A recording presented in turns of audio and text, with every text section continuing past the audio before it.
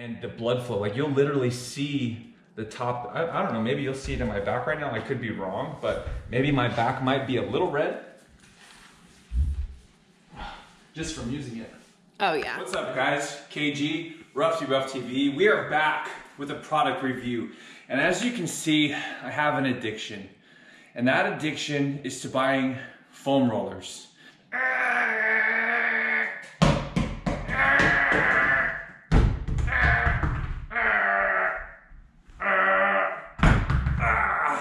you can see, I have three different types of foam rollers, but what I wanna go over today, the most high-tech foam roller on the market.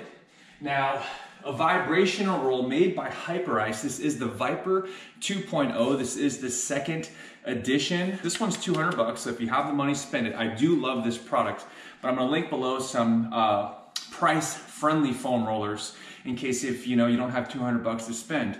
But for the sake of what we have today, we have the Hyper Ice Viper 2.0. So I'm gonna get right into the review today because it's very simple, very straightforward. There's two hours of battery life. There's three different levels. I believe it's 36 Hertz, 52 Hertz, and 72 Hertz. That's how many times the little machine in here uh, cycles per second, okay? So you can see, we'll just do a sound test. This is level one.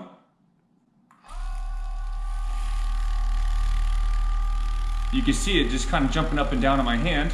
Level two. It just feels good to hold. Imagine sitting on it. And now here we go, level three. Now that thing is really going. Okay, so now we're gonna put this thing, hold on, let me turn this down so you can hear me. Now we're gonna put this thing to work. We're gonna put it on level one. Oh, that's nice. The only downside about the Hyperice Vyper is the sound. So here's level one. There's level two. Hello, lo, lay, lo, lo, lay, lo, lay.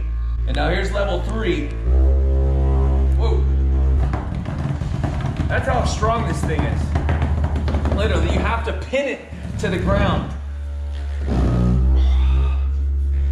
But I'm talking the vibrations are deep.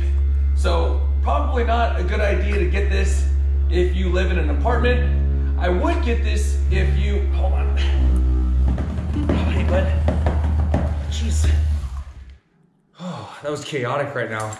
I would get this if you're a trainer. Oh man, and the blood flow it immediately starts. So as soon as I start putting this on any area of my body, it starts basically shaking up my tissue and you immediately get super itchy because that blood flow is starting to come to the surface of your skin.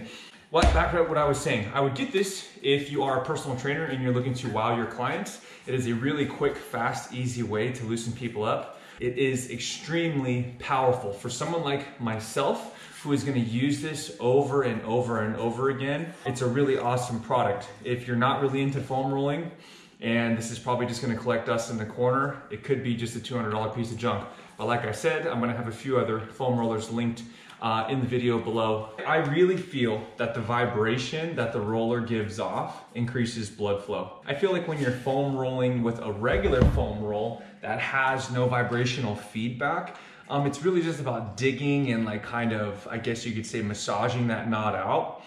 With this thing, you could see how powerful the vibration or the hertz that it gives off. And I feel like it just gets into the tissue deeper uh, and, and faster.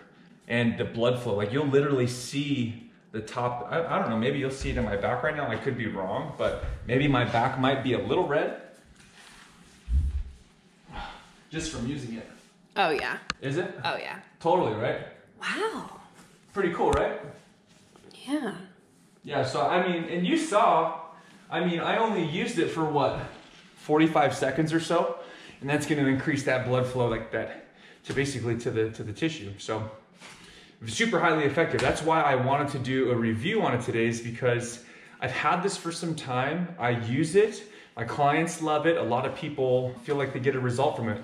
And if I feel like the product is, is delivering, we owe them a, a positive review. What are you chewing on? What are you chewing on? Well, that's all I got for you guys today. KG, Rough to be Buff TV. I will see you next time. Pieces.